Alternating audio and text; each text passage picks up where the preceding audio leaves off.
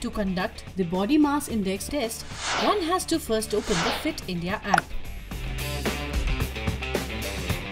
Once the app is launched, select the name for whom you want to conduct the test. Once the app is launched, select the BMI option from the multiple test options. The app is now ready to conduct the body mass index test. Body mass index or BMI is used to measure one's body composition which is the distribution of muscles and fat in the body.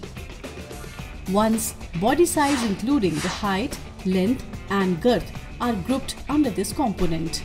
It is calculated by taking a person's weight and dividing it by their height which is recorded in meters square.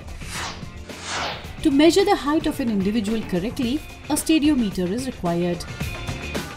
If you do not have a stadiometer, your height can be measured by pasting a measuring tape against a wall and standing up right against the wall. It should be done on a hard flat surface. The participant should remove his or her shoes, bulky clothing, hair ornaments and unbraid the hair that could interfere with the measurement. The participant should stand with his or her feet flat together and back against the wall.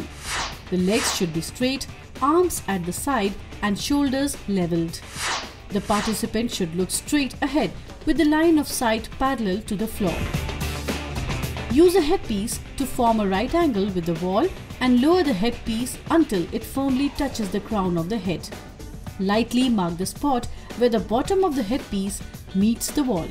Then use a metal tape to measure your height from the base on the floor to the marked measurement on the wall.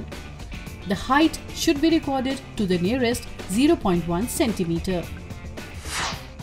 To measure the weight accurately, a digital scale should be used. Bathroom scales should be avoided as they are spring-loaded. The scale should be placed on a firm flooring rather than a carpeted floor. The participant should remove his or her shoes and heavy clothing. The participant should stand with both feet in the center of the scale. The weight should be recorded in kilograms and grams to the nearest decimal fraction. The reading of the height and weight should be typed in at the designated place on the screen. Once you have completed all the tests, tap the View Dashboard option. The fitness dashboard shows your overall fitness level, BMI and your performance against each fitness parameter. For each fitness parameter, the app recommends a set of physical activities to help you improve your performance. This completes the process of conducting the fitness test.